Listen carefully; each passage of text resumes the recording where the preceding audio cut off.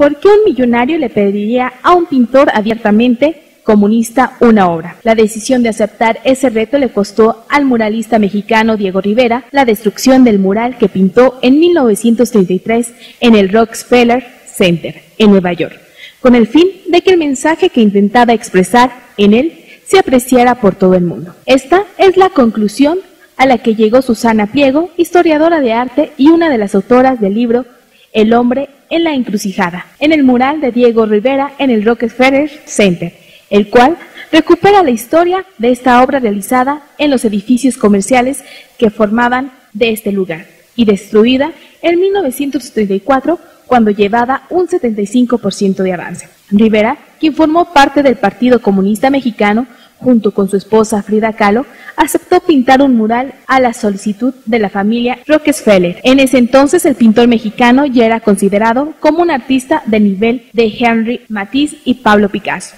Lo que querían era tener una obra de ellos, no le importaba lo que pintaran, explicó Pliego. Rivera firmó un contrato en el que se comprometió a ceñirse a lo marcado en los bocetos presentados y hacer el mural de tela.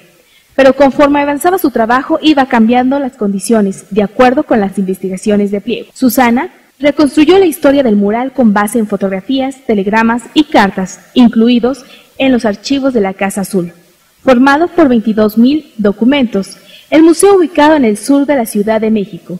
El archivo fue abierto en el 2007, luego de que permanece clausurado durante 50 años a petición de Rivera. Según el libro, Diego Rivera primero decidió trabajar directo sobre el fresco para que la pintura se hiciera una con la pared.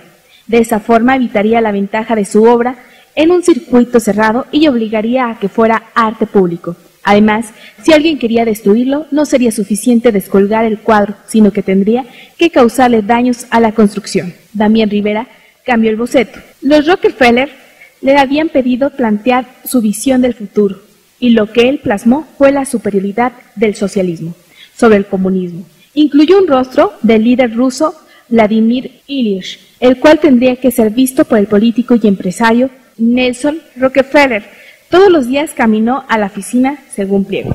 Este libro es el cuarto que se produce a partir de la investigación del archivo de la Casa Azul, de acuerdo con Hilda Trujillo Soto, directora del Museo Anahuacalli, creado por Rivera y donado al pueblo de México. Entre los documentos que incluye el libro está una carta que Albert Einstein le envió a Rivera, en la que le agradece que le haya incluido en el mural de Rockefeller Center. El periodista Javier Aranda Luna, quien trabajó en la investigación del archivo, aclara que Rivera hizo una apuesta para la ciencia en ese mural, al igual que una crítica a la clase pudiente de Estados Unidos. El libro también incluye la historia de los bocetos que están expuestos en el Museo Anahuacalli, ubicado en la Ciudad de México.